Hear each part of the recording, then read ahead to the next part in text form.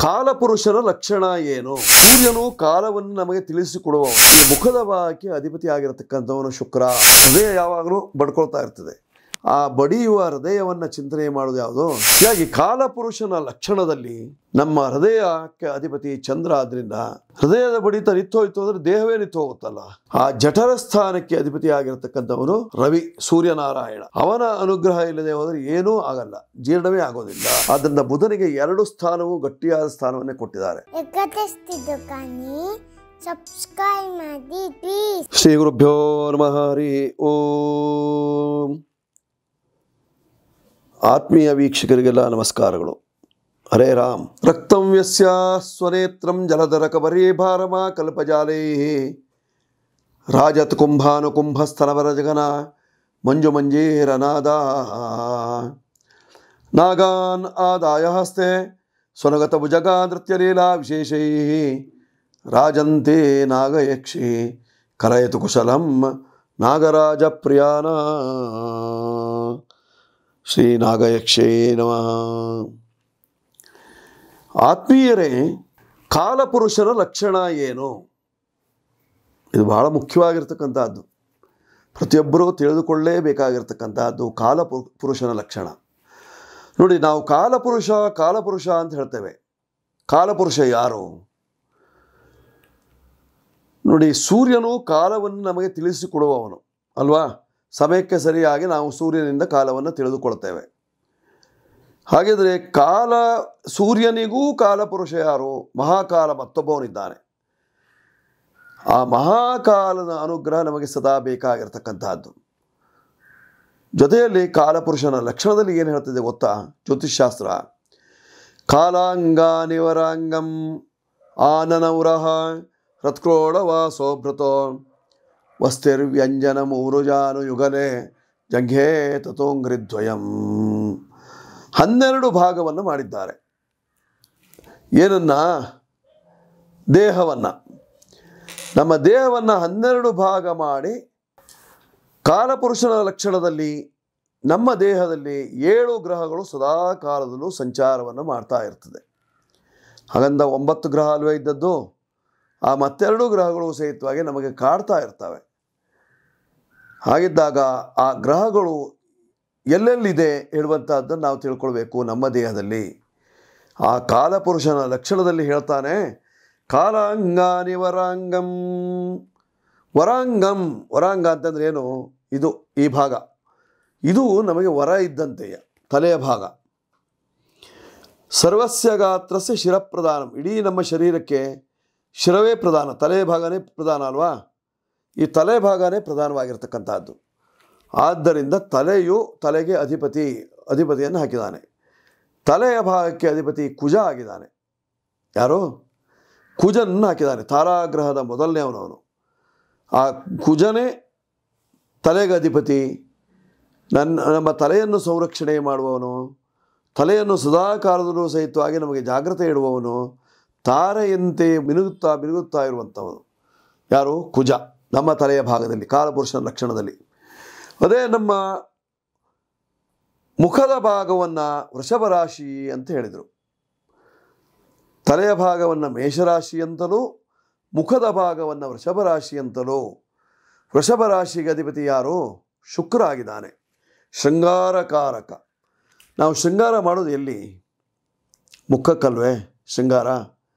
ಹೌದಲ್ವಾ? ನೀವು ಪೌಡರನ್ನು ಹಚ್ಚಿಕೊಳ್ಳುವಾಗ ಮುಖಕ್ಕೆ ಒಳ್ಳೆ ಪೌಡರ್ ಹಚ್ಕೊಳ್ತೀರಿ. ಆಯಿತಾ? ಹುಬ್ಬುಗಳನ್ನೆಲ್ಲ ತೀಡ್ಕೊಳ್ತೀರಿ. ಹೌದಲ್ವಾ? ಮೀಸೆ ಇದ್ದರೆ ಮೀಸೆಯನ್ನು ಸರಿಯಾಗಿ ಹೀಗೆ ಮಾಡ್ಕೊಳ್ತೀರಿ. ಗಡ್ಡ ಇದ್ದರೆ ಗಡ್ಡವನ್ನು ಚೆನ್ನಾಗಿ ಇದು ಮಾಡ್ಕೊಳ್ತೀರಿ. ಹೌದಾ? ಹೌದಲ್ವಾ? ಇದು ಈ ಮುಖಾಲಂಕಾರದ ಲಕ್ಷಣದಲ್ಲಿ ಬರುವಂತಹದ್ದು. ಈ ಮುಖದ ಭಾಗಕ್ಕೆ ಅಧಿಪತಿ ಆಗಿರತಕ್ಕಂಥವನು ಶುಕ್ರ. ನೋಡಿ, ಶುಕ್ರ ಲಕ್ಷ್ಮಿಗೆ ಅಧಿದೇವತೆ ಗ್ರಹ, ಗ್ರಹದಲ್ಲಿ. ಹಾಗಂತ ಮು ಶುಕ್ರನಿಗೆ ಹೇಳಿರ್ತಕ್ಕಂಥದ್ದು ಮುಖದ ಭಾಗ. ಈ ಮುಖದ ಭಾಗವನ್ನು ನೋಡಿಯೇ ಅಲ್ವಾ ಹಣಕಾಸಿನ ವಿಚಾರ ಯಾವುದಾದ್ರು ಮಾಡೋದಿದ್ರೆ? ದುಡ್ಡು ಬರೋದು ಎಲ್ಲಿಂದ? ನಿಮ್ಮ ಮುಖದಿಂದ, ಅಲ್ವಾ? ಕೈಯಲ್ಲಿ ಎಣಿಸಿ, ಎಣಿಸ್ತೀರಿ. ಮುಖಾರವಿಂದ ಹೇಗಿದೆ ಹೇಳುವಂಥದ್ದು. ನಗು ಮುಖದಿಂದ ನೀವು, ನನಗೊಂದು ಸ್ವಲ್ಪ ಸಾಲ ಬೇಕಿತ್ತಲ್ಲಪ್ಪ. ಕೈಗಡ ಬೇಕಿತ್ತು. ಭಾಳ ತೊಂದರೆ ಸಿಕ್ಕಾಕ್ಕೊಂಡ್ಬಿಟ್ಟಿದ್ದೇನೆ ಒಂದು ಹತ್ತು ಸಾವಿರ ಕೊಡು ನನಗೆ. ಹತ್ತು ಸಾವಿರ ಕೊಡು. ಮುಖದ ಭಾವ ನಿಮ್ಮದು ಯಾವ ಯಾವ ರೀತಿಯಲ್ಲಿರ್ತದೆ? ಸಂತೋಷದ ಭಾವದಲ್ಲಿರ್ತದೆ, ಅಲ್ವಾ? ನೀವು ಒಂದು ರೀತಿಯಲ್ಲಿ ಅವರನ್ನು ನಂಬಿಸುವಂತಹ ರೀತಿಯಲ್ಲಿ ನೀವು ಮುಖದ ಭಾವವನ್ನು ಮಾಡ್ಕೊಂಡಿರ್ತೀರಿ. ಆ ರೀತಿಯಲ್ಲಿ ಇದ್ದು ನೀವು ಏನೋ ಹಣವನ್ನು ಕೇಳ್ತೀರಿ, ಅವನಿಗೂ ಸಹಿತವಾಗಿ ಎದುರುಗಡೆ ಇದ್ದವನಿಗೂ, ಅಯ್ಯೋ ಪಾಪ ಅಂತ ಅನಿಸುತ್ತೆ. ಅವನ ಬಡ್ಡಿಗೆ ಕೊಡುವವನಾದರೆ ಬಡ್ಡಿ ಎಷ್ಟಾಗುತ್ತೆ ಅಂತ ಹೇಳಿಬಿಟ್ಟು ಕೊಡ್ತಾನೆ. ಇಲ್ಲ, ಪ್ರೀತಿಯಿಂದ ಕೊಡೋದಿದ್ದರೆ ನನಗೆ ಇನ್ನೊಂದು ಎರಡು ತಿಂಗಳ ಬೇಕಪ್ಪ, ಎರಡು ತಿಂಗಳ ತಡೆದು ಬೇಕಪ್ಪ, ಅವಾಗಾರು ಕೊಟ್ಬಿಡು ಅಂತ ಹೇಳ್ತಾನೆ, ಅಲ್ವಾ? ಆ ಮುಖದ ಭಾವನೆಯೇ ನಮಗೆ ಸಂಪತ್ತನ್ನು ಕೊಡತಕ್ಕಂಥದ್ದು. ಇನ್ನು ಮಿಥುನ ರಾಶಿಯನ್ನು ನೋಡುವಾಗ ಬುಧನು ಅಧಿಪತಿಯಾಗಿದ್ದಾನೆ. ಅವನು ನಮ್ಮ ಎದೆಯ ಭಾಗ. ಈ ಮನುಷ್ಯನ ಎದೆಯ ಭಾಗ ಎಷ್ಟು ಹರವಿದೆ, ಎಷ್ಟು ಅಗಲವಾಗಿದೆ, ಯಾವ ರೀತಿ ಉಬ್ಬಿದ ಎದೆಯೋ ಅಥವಾ ತಗ್ಗಿದ ಎದೆಯೋ ಇತ್ಯಾದಿಗಳನ್ನೆಲ್ಲವನ್ನು ವಿಮರ್ಶೆ ಮಾಡ್ತಾರೆ. ಸಾಧಾರಣವಾಗಿ ಹಾಗಿರುವಾಗ ಈ ಎದೆಯ ಭಾಗವನ್ನು ನೋಡಿ, ನೋಡುವಾಗ ನಮಗೆ ಬುಧ ಆ ಭಾಗದಲ್ಲಿರುವವನು. ಜೊತೆಯಲ್ಲಿ ಏನು ಮಾಡ್ತಾನೆ? ಬುಧ ಬುದ್ಧಿಯನ್ನು ಕೊಡ್ತಾನೆ. ಬುದ್ಧಿಯನ್ನು ವೃದ್ಧಿ ಮಾಡುವಂತಹ ಶಕ್ತಿ ಇರತಕ್ಕಂಥದ್ದು ಬುಧನಿಗೆ. ಆದ್ದರಿಂದಲೇ ಅವನಿಗೆ ವಿಶೇಷವಾಗಿ ವಿಶೇಷವಾದಂಥ ಒಂದು ಶಕ್ತಿ ಇರತಕ್ಕಂಥದ್ದು ರೂಪವನ್ನು ಹೆಚ್ಚಿಸುವವನು, ಬುದ್ಧಿಯನ್ನು ಹೆಚ್ಚಿಸುವವನು ಬುಧ. ಆದ್ದರಿಂದ ಬುಧನಿಗೆ ಎದೆಯ ಭಾಗವನ್ನು ಹೇಳಿದ್ದಾರೆ. ನೋಡಿ, ಯಾವುದೇ ಇದಾದರೂ ಸಹಿತವಾಗಿ ನಾವು ಏನು ಮಾಡ್ತೇವೆ? ಎದೆ ಸೆಟ್ಸ್ಕೊಂಡು ಕೇಳ್ತೇವೆ. ಕೇಳುವಾಗ, ಹೌದಲ್ವಾ? ಆದ್ದರಿಂದ ಎದೆ, ನೋಡಿ ಉದಾಹರಣೆಗೆ ಏನಾದರೂ ಜಗಳ ಗಲಾಟೆ ಆಯಿತು, ವಾದ ವಿವಾದಗಳು ನಡೀತು, ಆಗ ಕೇಳ್ತಾರೆ, ನಿನ್ನ ಎದೆಯಲ್ಲಿ ನೀರಿದ್ರೆ ಹೇಳು. ಅಂದರೆ ಏನು ಅರ್ಥ? ಅಂದರೆ ನಿನಗಷ್ಟು ಧೈರ್ಯ ಇದೆಯಾ ಅಂತ ಕೇಳೋದು. ನಿನ್ನ ಎದೆಯಲ್ಲಿ ನೀರಿದ್ದರೆ ಹೇಳ. ಅಂತ ಹೇಳ್ತಾರೆ. ಆದ್ದರಿಂದ ಎದೆಯ ಭಾಗ ನಮಗೆ ಅತಿ ಅವಶ್ಯಕವಾಗಿರ್ತಕ್ಕಂಥದ್ದು. ಜೊತೆಯಲ್ಲಿ ನಾಲ್ಕನೆಯದು ಕರ್ಕಾಟಕ ರಾಶಿ ಹೃದಯದ ಭಾಗವಾಗಿರ್ತಕ್ಕಂಥದ್ದು. ನಮ್ಮ ಹೃದಯವನ್ನು ಚಿಂತನೆ ಮಾಡೋದು, ಹೃದಯ ಯಾವಾಗಲೂ ಏನಾಗ್ತದೆ? ಬಡ್ಕೊಳ್ತಾ ಇರ್ತದೆ, ಅಲ್ವಾ? ಹೃದಯ ಯಾವಾಗಲೂ ಬಡ್ಕೊಳ್ತಾ ಇರ್ತದೆ. ಆ ಬಡಿಯುವ ಹೃದಯವನ್ನು ಚಿಂತನೆ ಮಾಡೋದು ಯಾವುದು? ಚಂದ್ರ, ಮನೋಕಾರಕ, ಚಂಚಲ. ಚಂದ್ರನೂ ಚಂಚಲ. ಜೊತೆಯಲ್ಲಿ ನಮ್ಮ ಹೃದಯದ ಬಡಿತವೂ ಚಂಚಲವಾಗಿರ್ತದೆ. ಚಂಚಲತೆಗೆ ಏನು ಹೇಳಿದರು? ಹೃದಯಕ್ಕೂ ಮತ್ತು ಮನಸ್ಸಿಗೂ ಒಂದು ರೀತಿಯಾದಂತಹ ಸಂಬಂಧ. ಚಿತ್ತಂತು ಚೇತೋ ಹೃದಯಂ. ಸ್ವಾಂತಂ ಹೃನ್ಮ ಅನಸಂ ಈ ರೀತಿಯಲ್ಲಿ ವರ್ಣನೆ ಮಾಡಿದ್ದಾರೆ. ಹೀಗಾಗಿ ಕಾಲಪುರುಷನ ಲಕ್ಷಣದಲ್ಲಿ ನಮ್ಮ ಹೃದಯಕ್ಕೆ ಅಧಿಪತಿ ಚಂದ್ರ ಆದ್ದರಿಂದ ಇಡೀ ದೇಹದಲ್ಲಿ ಹೃದಯವೇ ನಮಗೆ ಅತ್ಯಂತ ಶ್ರೇಷ್ಠವಾಗಿರ್ತಕ್ಕಂಥದ್ದು. ಹೃದಯದ ಬಡಿತ ಹೋಯಿತು ಅಂದರೆ ದೇಹವೇ ನಿತ್ತು ಹೋಗುತ್ತಲ್ಲ. ಹಾಗಿದ್ದಾಗ ಹೃದಯ ನಮಗೆ ಅತ್ಯಂತ ಮುಖ್ಯವಾಗಿರ್ತಕ್ಕಂಥದ್ದು. ಪುಟ್ಟ ಹೃದಯವನ್ನು ನಾವು ಚೊಕ್ಕವಾಗಿ ಕಾದುಕೊಳ್ಬೇಕಾಗಿರ್ತಕ್ಕಂಥದ್ದು ಅಲ್ವಾ? ಚಂದ್ರನ ಪ್ರಭಾವದಿಂದ. ಅದೇ ಮುಖ್ಯವಾಗಿ ನಮಗೆ ಬೇಕಾಗಿರ್ತಕ್ಕಂಥದ್ದು ಹೊಟ್ಟೆ. ಆಯಿತಾ, ನಮ್ಮ ದಿ, ಆಹಾರವನ್ನು ಜೀರ್ಣಿಸುವ ಜಾಗ, ನಮ್ಮ ದೇಹಕ್ಕೆ ರಕ್ತವನ್ನು ಒದಗಿಸುವಂತಹ ಜಾಗ, ನಮ್ಮ ದೇಹಕ್ಕೆ ಬೇಕು ಬೇಕಾದ್ದನ್ನು ಕೊಡುವಂತಹ ಜಾಗ, ಅದಕ್ಕೆ ಬೇಕು ಬೇಕಾದ್ದನ್ನು ಕೊಡಬೇಕಾದ್ದು ನಮ್ಮ ಕರ್ತವ್ಯ. ಹೊಟ್ಟೆಗೆ ಬೇಕಾದ್ದನ್ನು ಕೊಡಬೇಕಾಗಿರ್ತಕ್ಕಂಥದ್ದು ನಮ್ಮ ಕರ್ತವ್ಯ. ಆದ್ದರಿಂದ ಆಹಾರ ಪದಾರ್ಥಗಳು ಏನೇ ತಿಂದರೂ ಸಹಿತವಾಗಿ ಅದು ಅಲ್ಲಿ ಜೀರ್ಣವಾಗ್ತಾ ಇರ್ತದೆ. ಹಾಗಿದ್ದಾಗ ಇಲ್ಲೊಂದು ಅಗ್ನಿ ಇದೆ ಸು ಒಳಭಾಗದಲ್ಲಿ. ಆ ಒಳಭಾಗದಲ್ಲಿ ನೀವು ಎಷ್ಟೇ ಬಿಸಿ ಬಿಸಿ ಆದಂಥ ಊಟವನ್ನು ಹಾಕಿ, ಅಥವಾ ಬಿಸಿ ಬಿಸಿಯಾಗಿ ಏನಾದ್ರು ತಿಂದ್ರಿ, ಗಟ್ಟಿ ವಸ್ತುವನ್ನು ತಿಂದ್ರಿ, ಆಗಲೂ ಸಹಿತವಾಗಿ ಅದನ್ನೆಲ್ಲವನ್ನು ಜೀರ್ಣಿಸಿಕೊಳ್ಳುವಂತಹ ಒಂದು ಶಕ್ತಿ ಇರತಕ್ಕಂಥದ್ದು ಜಾಠರಾಗ್ನಿಯಲ್ಲಿ. ಆ ಜಠರ ಸ್ಥಾನಕ್ಕೆ ಅಧಿಪತಿಯಾಗಿರತಕ್ಕಂಥವನು ರವಿ ಸೂರ್ಯನಾರಾಯಣ. ಅವನ ಅನುಗ್ರಹ ಇಲ್ಲದೆ ಹೋದರೆ ಏನೂ ಆಗಲ್ಲ, ಜೀರ್ಣವೇ ಆಗೋದಿಲ್ಲ. ನಿಮ್ಮ ದೇಹದ ಎಲ್ಲ ಅಂಗಾಂಗಗಳನ್ನು ಜೀರ್ಣಾಂಗವನ್ನು ಸಹಿತವಾಗಿ ಸಂರಕ್ಷಣೆ ಮಾಡತಕ್ಕಂಥವನು ವಿಶೇಷವಾಗಿ ರವಿ ಸೂರ್ಯನಾರಾಯಣ. ಆ ಸೂರ್ಯನಾರಾಯಣನ ಅನುಗ್ರಹದಿಂದ ನಮ್ಮ ಸಕಲ ಸಂಕಷ್ಟಗಳು ಪರಿಹಾರವಾಗ್ತದೆ. ಜೊತೆಯಲ್ಲಿ ನಮ್ಮ ಆರೋಗ್ಯವನ್ನು ಸರಿಯಾಗಿ ಕಾಪಾಡಿಕೊಳ್ಳಿಕ್ಕೆ ಸಾಧ್ಯತೆ ಇದೆ. ನಮ್ಮ ಹೊಟ್ಟೆಯನ್ನು ನಾವು ಸರಿಯಾಗಿ ಇಟ್ಕೊಳ್ಬೇಕಾಗಿರ್ತಕ್ಕಂಥದ್ದು. ಸರಿಯಾದ ಸಮಯಕ್ಕೆ ಸರಿಯಾಗಿ ಆಹಾರ ಪದಾರ್ಥಗಳು ಬೇಕು. ಅದೇ ಅದೇ ಜಾಸ್ತಿ ಆದರೆ ಅದೇ ವಿಷವಾಗಿ ಪರಿಣಮಿಸುವಂತಹ ಸಾಧ್ಯತೆ ಇದೆ. ಆದ್ದರಿಂದ ತುಂಬ ಜಾಗ್ರತೆ ಬೇಕು ವೀಕ್ಷಕರೇ. ನಮ್ಮ ಹೊಟ್ಟೆಯ ಬಗ್ಗಾಗಿ ಅದಕ್ಕೆ ಅಧಿಪತಿ ಸಿಂಹರಾಶಿ ಅಧಿಪತಿ ರವಿ ಆಗಿದ್ದಾನೆ. ಆದ್ದರಿಂದ ತುಂಬ ಜಾಗ್ರತೆ ಬೇಕು. ಇದಾದ ನಂತರದಲ್ಲಿ ನಾವು ನೋಡಬೇಕಾಗಿರ್ತಕ್ಕಂಥದ್ದು ನಮ್ಮ ಬಟ್ಟೆಯನ್ನು ಉಡುವ ಜಾಗ. ನಾವು ಪ್ಯಾಂಟ್ ಕಟ್ತೇವೆ, ಪ್ಯಾಂಟ್ ಹಾಕ್ಕೊಳ್ತೇವೆ, ಅದಕ್ಕೊಂದು ಬೆಲ್ಟನ್ನು ಹಾಕ್ಕೊಳ್ತೇವೆ. ಯಾಕೆ ಹೇಳಿ?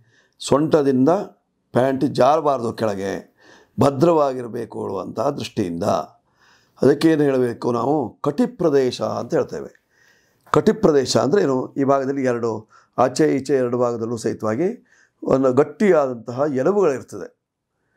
ನಮ್ಮ ದೇಹವನ್ನು ಗಟ್ಟಿಯಾಗಿ ಹಿಡ್ಕೊಂಡಿರ್ತದೆ ಅದು. ಅದಕ್ಕೆ ಕಟಿಪ್ರದೇಶ ಅಂತ ಹೆಸರು. ಆ ಕಟಿಪ್ರದೇಶಕ್ಕೂ ಅಧಿಪತಿ ಬುಧನೇ. ನಿಮ್ಮ ಎದೆಗೆ ಅಧಿಪತಿ ಯಾರಾಗಿದ್ದಾನೋ ಅವನೇ ಕಟಿಪ್ರದೇಶಕ್ಕೆ ಅಧಿಪತಿ.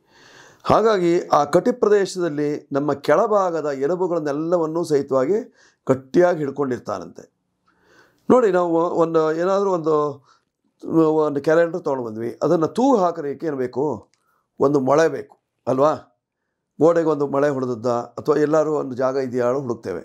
ಆ ಜಾಗದಲ್ಲಿ ಅಲ್ಲಿ ತೂಗು ಹಾಕ್ತೇವೆ ನಾವು.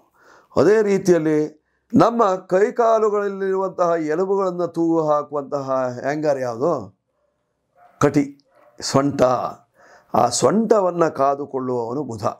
ಆದ್ದರಿಂದ ಬುಧನಿಗೆ ಎರಡು ಸ್ಥಾನವೂ ಗಟ್ಟಿಯಾದ ಸ್ಥಾನವನ್ನೇ ಕೊಟ್ಟಿದ್ದಾರೆ.